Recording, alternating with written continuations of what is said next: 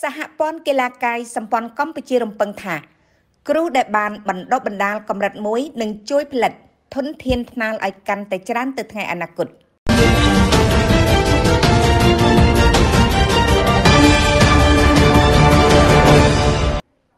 ផ្សាយចេញពីរាជធានីភ្នំពេញ ក្នុងឱកាសបញ្ចប់វគ្គបណ្ដុះបណ្ដាលនាល្ងាចថ្ងៃទី26ខែកញ្ញាឆ្នាំ2023 នៅសាលាបឋមសិក្សាសាលាលេខ5ក្នុងស្រុកកំពង់ត្រឡាចខេត្តកំពង់ឆ្នាំងលោកណ້ອຍផាណាអគ្គលេខាធិការសហព័ន្ធកីឡាកាយសម្ព័ន្ធកម្ពុជា បានដាក់ក្តីរំពឹងថា គ្រូដែលសហព័ន្ធបានបណ្ដុះបណ្ដាលបច្ចេកទេសកីឡាកាយសម្ព័ន្ធកម្រិត1នៅពេលនេះនឹងជួយផលិតនៅធនធានកម្រិតថ្នាលឲ្យកាន់តែច្រើនទៅថ្ងៃអនាគតលោកថា នៅពេលដែលយើងមានធនធានកាន់តែច្រើននោះសហព័ន្ធកីឡាកាយសម្ព័ន្ធ ក៏ងាយស្រួលក្នុងការជ្រើសរើសអ្នកមានសមត្ថភាពឲ្យចូលក្នុងក្រុមជម្រើសជាតិផងដែរការដែលលោកហ៊ានអះអាងបែបនេះ គឺដោយសារយើងមើលឃើញថា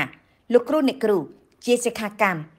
ដែលចូលរួមនៅក្នុងវគ្គបណ្ដុះបណ្ដាលនេះសុទ្ធតែជាអ្នកឆ្លៀវវៃទទួលបានចំណេះជំនាញកាន់តែច្រើននិងឆាប់យល់ច្បាស់ព្រោះនៅពេលធ្វើតេស្តបញ្ចប់វគ្គពួកគាត់អាចចាប់កំហុសកីឡាកីឡាករនីបានភ្លាមភ្លាមមានន័យថា ចំណេះដឹងរបស់គាត់គឺយើងទទួលយកបានប៉ុន្តែបើយើងនិយាយថាឲ្យខ្លឹមឬឲ្យល្អដោយក្រុមជំរឿជាតិគឺពួកគាត់មិនតន់ទៅដល់ទេ គឺយើងសង្ឃឹមទៅលើពួកគាត់ត្រឹមថានឹងអាចជួយបណ្ដុះបណ្ដាលធនធានអត្តពលិកនៅក្នុងកម្រិតថ្នាក់មូលដ្ឋានបានល្អលោកអគ្គលេខាធិការជឿជាក់ថាលោកគ្រូអ្នកគ្រូដែលជាសិក្ខាកម្មទាំងនេះនឹងយកចំណេះដឹងរបស់ខ្លួនទៅផ្សព្វផ្សាយបន្តឲ្យបានទូលំទូលាយនៅមូលដ្ឋាន និងជួយផលិតធនធានថ្នាលឲ្យបានច្រើនដើម្បីនៅពេលខាងមុខសហព័ន្ធងាយស្រួល ក្នុងការជ្រើសរើសរកយុវជន ដែលមានទេពកោសល្យល្អមកប្រមូលផ្ដុំនៅក្នុងក្រុមជម្រើសជាតិជាមួយគ្នានេះលោកអគ្គលេខាធិការបានបញ្ជាក់ថាវគ្គបណ្ដុះបណ្ដាលបច្ចេកទេសនិងបោះជំរំសម្រាប់គ្រូបង្វឹកកីឡាកាយសម្ព័ន្ធកម្រិតមួយនេះពិតជាមានសារៈសំខាន់នៅក្នុងការអភិវឌ្ឍធនធានឆ្ពោះទៅកីឡាយុវជនអាស៊ីនៅឆ្នាំ2029ខាងមុខ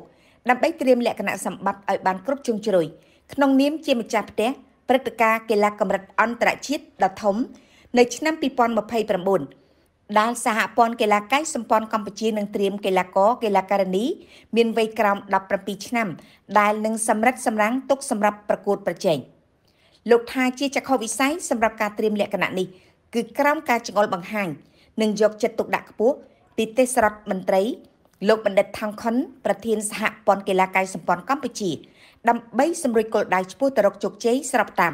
ផែនការប្រចាំឆ្នាំនៃការអភិវឌ្ឍនិងបណ្ដុះបណ្ដាលធនធានមនុស្សរបស់ខ្លួនប្រកបដោយគុណភាពគួរបញ្ជាក់ថាវគ្គបណ្ដុះបណ្ដាលនិងការបោះជំរំហ្វឹកហាត់គ្រូកីឡាកាយសម្ព័ន្ធកម្រិតមួយនេះបានធ្វើឡើងនៅសាលាបឋមសិក្សាសាលាលេខ5នៅក្នុងស្រុកកំពង់ត្រឡាចខេត្តកំពង់ឆ្នាំងមានសិក្ខាកាមចូលរួមចំនួន22នាក់ ចាប់ពីថ្ងៃទី22ដល់ថ្ងៃទី26ខែកញ្ញាឆ្នាំ2023ក្រោមការរៀបចំពីសហព័ន្ធកីឡាកាយសម្ព័ន្ធកម្ពុជា ដែលមានការឧបត្ថម្ភគ្រប់គ្រងថវិកាពីផ្នែកបណ្ដុះបណ្ដាលធនធានមនុស្សរបស់ក្រសួងអប់រំយុវជននិងកីឡាក្នុងគោលដៅពន្លឿនការអភិវឌ្ឍធនធានកីឡាកាយសម្ព័ន្ធឲ្យមានការរីកចម្រើន។